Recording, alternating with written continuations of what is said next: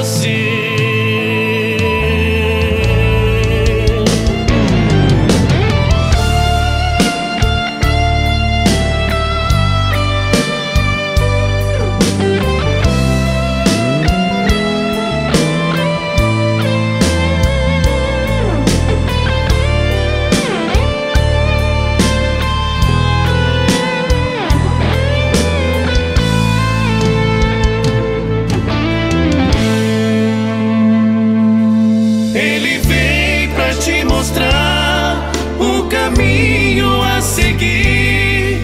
Feche os olhos, e esqueça tudo. Vamos prosseguir.